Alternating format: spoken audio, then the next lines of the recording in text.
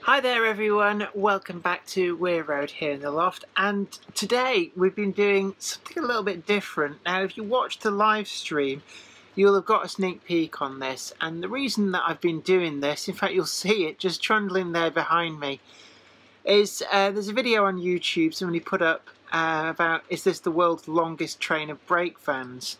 And uh, they managed 23 so I thought I'd go a few better and I've dug out all of the brake vans that I could find in my collection. It's not actually a complete set of brake vans, I do have some more. Now every single one of these brake vans is different and I just thought I'd show you my big super long train of brake vans and I do invite you to have a go yourself. Post down below uh, about uh, your favourite brake vans and I uh, look forward to seeing some more brake van trains appearing on YouTube. It's something we can do in this time of self-isolation. We can make fun for ourselves.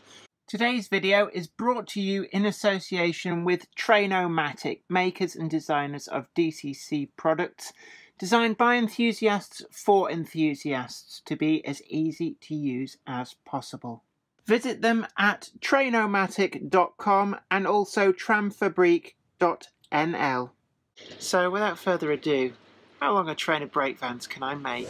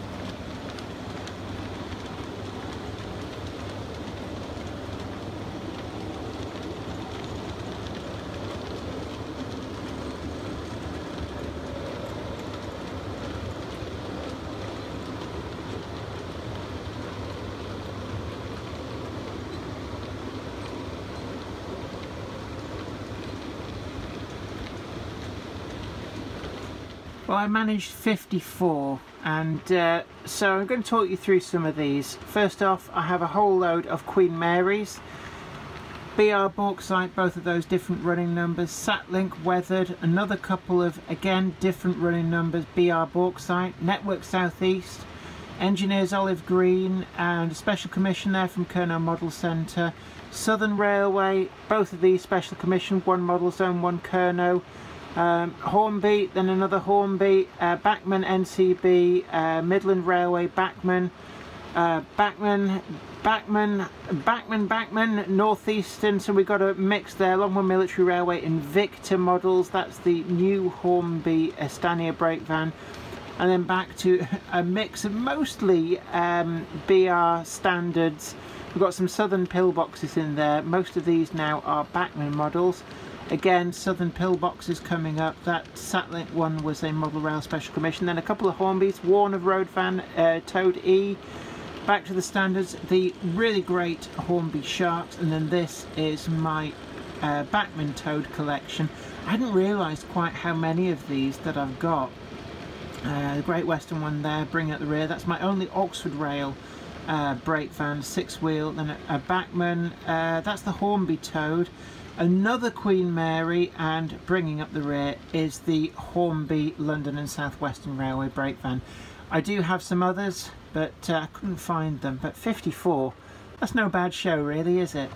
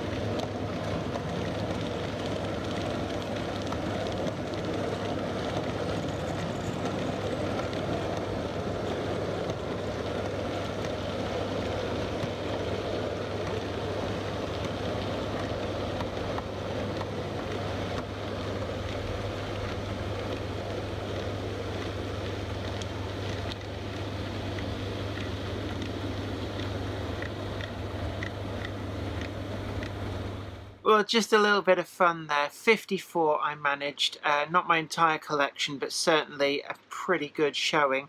And uh, every single one of those is different. I did try and talk you through a few of those. And um, I just love a brake van. So there we are. There's my challenge to the internet, to YouTube. Can you uh, match or beat 54 brake vans, all different as well, I might add.